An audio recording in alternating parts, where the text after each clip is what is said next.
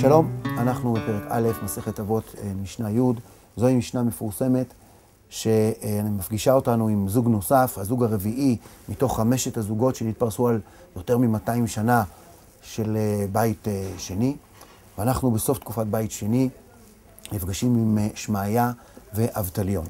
נקרא את המשנה, שמעיה ואבטליון קיבלו מהם, מהזוג הקודם. שמעיה אומר, אהוב את המלאכה ושנא את הרבנות, ואל תתוודע לרשות. הרשות, הכוונה היא השלטון. אם כן, ראשית נאמר מילה על הרבנים שמוזכרים כאן, שמעיה ואבטליון. לפי הגמרא במסכת גיטין הם בעצם היו גרים או בני גרים מזרעה, מזרע זרעו של סנחריב, אחד מכובשי ארץ ישראל. אבל הם היו מאוד מאוד אהובים על החכמים ועל אנשי ארץ ישראל, אנשי ירושלים, שהכירו אותם. הגמרא מספרת שבמוצאי יום הכיפורים הלכה פמליה גדולה עם כהן הגדול לביתו עם, עם סיום מלאכת העבודה בבית המקדש, והנה כשעברו שם שמעיה ואבטליון, כל הכבודה, כל הפמליה, באופן, בלי, באופן טבעי שמו, שמו את פעמיהם אל ראשי האומה, אל ראשי הדור, שמעיה ואבטליון, עזבו את הכהן והלכו אחרי החכמים הגדולים האלה. יש לנו מסורת שהם לא נפרדו אפילו, אפילו לאחת, אפילו פעם אחת במשך חייהם, והם גם קבורים בקבר אחד, שאנחנו יודעים איפה הוא נמצא בכביש 89 בין קיבוץ סאסא לצפת, צמוד חמישה קילומטר בערך מצומת מירון. אם כן, במשנה הזאת נמצאות שלוש הדרכות, שלוש מידות, שצריכים אנחנו להתבונן בהן, הן כל אחת בפני עצמה, והן כהדרכה אחת אה, אה, רצופה. ראשית, בשיעור הזה, בפגישה הזאת, נעסוק בהדרכה הראשונה, אהוב את המלאכה. לכאורה, הדבר אה, אה, לא צריך להיאמר. הרי אדם צריך עבודה, אדם צריך פרנסה, ואדם אה, יוצא למלאכת יומו. מדוע אהוב את המלאכה? אלא, צריכים אנחנו לזכור, יש חלקים רבים באנושות שתופסים את עניינה של העבודה ושל המלאכה כסוג של קללה. הרי האדם הראשון התקלל, קוץ ותרדר תצמיח לך, וזיעה, זיעה, תגיר זיעה והאדמה לא תיתן לך את, את יבולה. אבל שמעיה במשנה הזאת אומר לנו, לא להתבונן ככה על המציאות. העמל, המלאכה, האנרגיות שאדם משקיע בפרנסתו, הם לא רק כדי להביא תלוש משכורת הביתה. לא, הרבה מעבר לזה. הרבה יותר מזה. אהוב זה עניין של יחס. העולם הוא אינו בית כלא.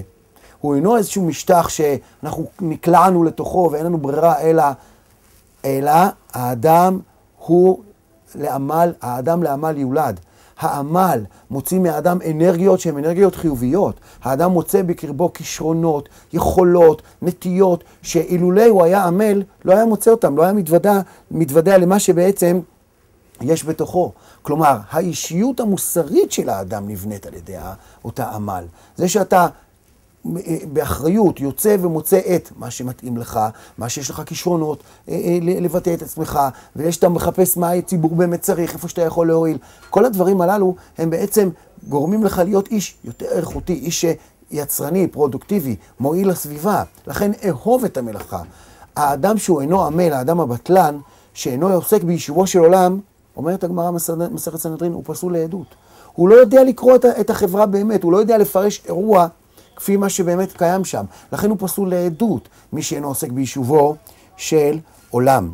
אם כן, האישיות המוסרית הולכת ומתפתחת, הולכת ונבנית, ולכן אנחנו מוצאים שבחים רבים בחז"ל לעצם, לעצם המלאכה.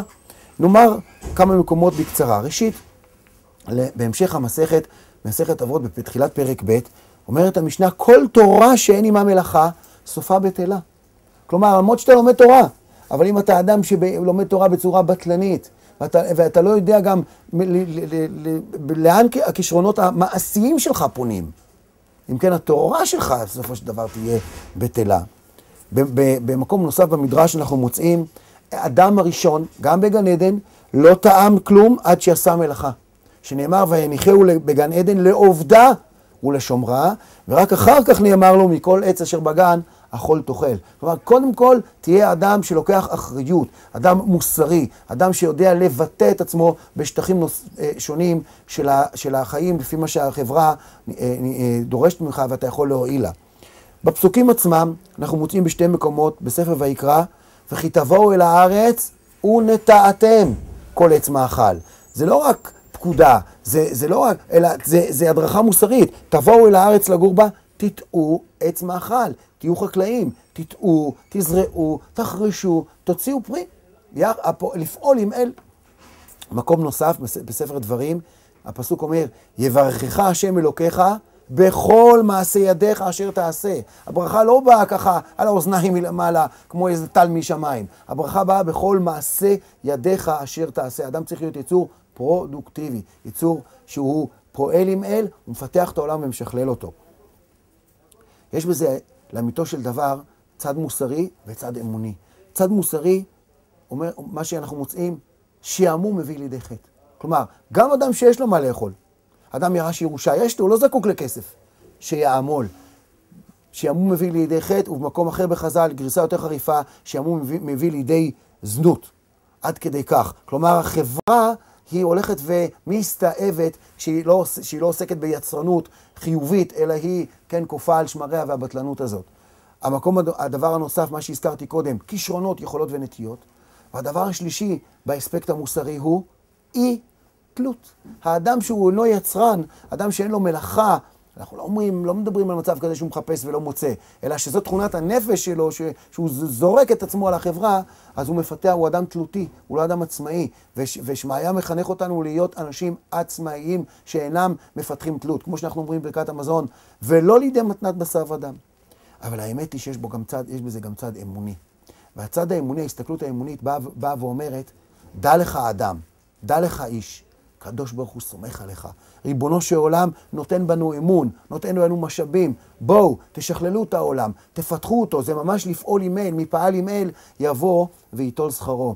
ועל כן נסיים במאמר של הגמרא, מאמר מאוד חריף, במאמר של הגמרא מסכת ברכות, אומרת הגמרא מסכת ברכות, גדול הנהנה מיגיע כפיו יותר מירא השם. והגמרא לומדת את זה מפסוקים. אין הכוונה להשוות שני אנשים, יגיע כפיו ירא השם, אלא כתכונות נפש, תכונת נפש של אדם שנהנה מיגיע כפיו, גם להיות בבית המדרש זה הגיע כפיו, גם, גם ל, ל, ל, ללמוד פילוסופיה או רפואה, הלימוד עצמו הגיע, הגיע כפיו, הכוונה להיות אדם עם תכונת נפש של עמל. אדם שרוצה להיות ירא שמיים באמת, צריך לרכוש לעצמו את תכונה של יגיע כפיך, יגיע כפיך כי תאכל, אשריך וטוב לך.